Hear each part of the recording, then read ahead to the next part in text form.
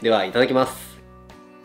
はいということで今回は低糖質なおつまみのチヂミを作ってみました。